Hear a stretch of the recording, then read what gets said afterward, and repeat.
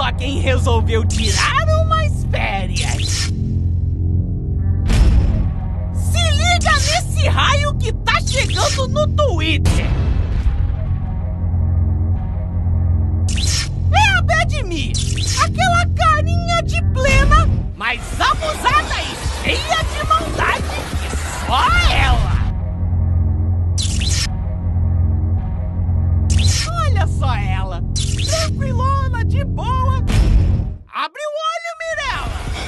resolve tirar férias tranquilas, normalmente acorda com um dia de tempestade de ex.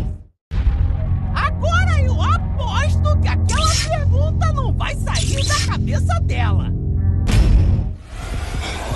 Uai! Virou! Os dentes da minha dela!